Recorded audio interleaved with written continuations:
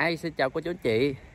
À, Chào mừng cô chú chị đã quay lại với kênh Nhà đất Bà Rịa Vũng Tàu. Em là Điền đây.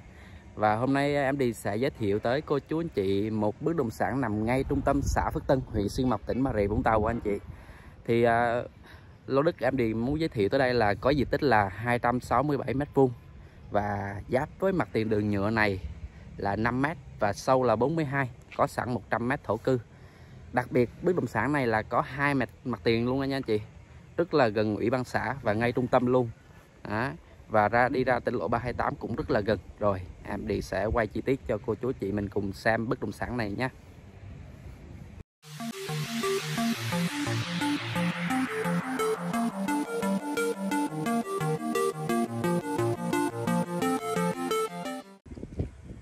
rồi trước mặt của chú anh chị mình đây là mặt tiền đường nhựa rộng khoảng là 6 đến 8 mét ha. Và cái hướng trước mặt của chú anh chị mình đây đi thẳng khoảng à, vài trăm mét thôi là mình đi gặp được trường học cấp 1 cấp 2 cấp 2 cấp 3 và trường mẫu giáo cũng như là ủy ban xã Phước Tân nha cô chú anh chị khoảng vài trăm mét thôi à. và cái hướng sau lưng của em Điền đây cũng đi vào khu dân cư và đường thông thoáng. Ở đây là uh, quy hoạch theo kiểu ô bằng cờ nha cô chú anh chị và cái đường của mình đây mặt tiền đường mà mình đây là kiểu là sẽ là thông thông với, song song với lại quốc tỉnh lộ 328 nha cô chú anh chị. Song song với tỉnh lộ 328 và mặt tiền đường bên hông của mình đây cô chú anh chị. Mặt tiền đường bê tông rộng khoảng là 5 mét. À, đi uh, một xíu thôi vài chục mét thôi là ra tới tỉnh lộ 328 rồi. À, cô chú anh chị có thể thấy xe chạy ngoài đó ha. Và đường 328 đó rộng khoảng là 32 mét và có vỉa hè nữa là hơn 32 mét. Đó. Và có vạch kẻ đường đường hai chiều đàng hoàng.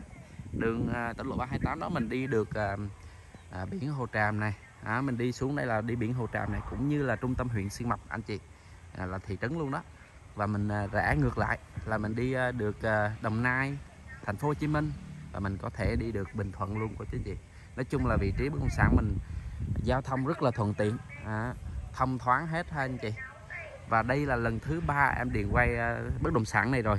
Nhưng mà mỗi lần em quay là đều có những thay đổi mới. À, lần trước em quay thì ờ, đường này, đường này chưa có trải nhựa mới này vẫn là đường nhựa cũ. À, lần thứ hai em quay á, thì là đường này. À, đường này là hồi trước chưa có đổ bê tông mới nè bây giờ đổ bê tông mới rồi. À, và cái lần thứ ba này em quay thì có sự thay đổi nữa. Là bất động sản mình là, là xuống giá anh chị đó. lúc trước thì em chào là 1 tỷ 950 rồi chủ chủ bớt lại là giảm xuống là 1 tỷ 850 và bây giờ chủ đất lại giảm nữa cô chú anh chị. À, giảm 1 tỷ 850 giảm thêm 150 triệu nữa còn 1 tỷ 7 thôi cô chú chị. À, 1 tỷ 7 thôi. Đó thì nói chung là chủ mình là, là bán lỗ đó cô chú chị chứ không phải là sao. Đó. 5 mét và sâu 42 và có trăm thổ cư khu dân cư rất là đông điện nước thì đầy đủ.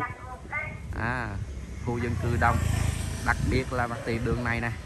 Cô chú chị đặc biệt mặt tiền đường này. Mình có thể kinh doanh được nha cô chú chị. Thí dụ mình mở một tạp hóa nho nhỏ hoặc là mình làm cái spa hoặc là mình buôn bán quán cơm gì đó cũng được. À, thí dụ mình à, tại vì cái thứ nhất là mình gần quốc lộ nè. À, mình có thể làm cái bản kinh doanh về đó và chỉ vào đây được vài chục mét thôi.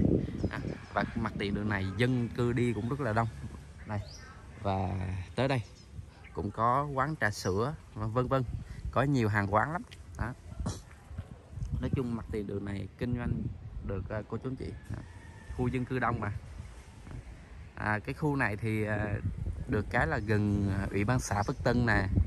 À, thì cũng như là cái chỗ này cũng rất là an ninh cô chú anh chị.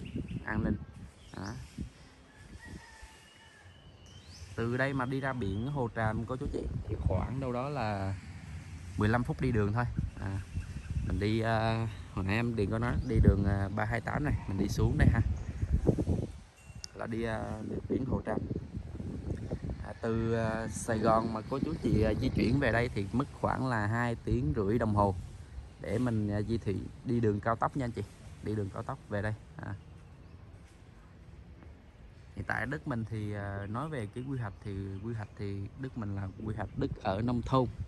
À, đất mình có 267 mét vuông và có 100 thổ cư. Thì à, bây giờ cô chú anh chị à, mà có nhu cầu sử dụng mà hết hơn 100 thổ cư đó thì cô chú chị mình có thể lên thêm nha. Mình có thể lên hết đất cũng được. À, đó là do nhu cầu của cô chú chị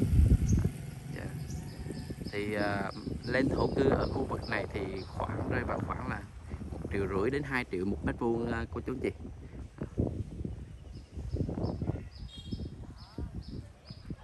Rồi à, em Điền cũng xin được dừng clip tại đây. Thì à, cô chú anh chị nào mà quan tâm tới bất động sản này thì hãy liên hệ em Điền với số điện thoại là 0788 66 88 34 rồi em Điền xin dừng clip đây. Em xin chào cô chú anh chị.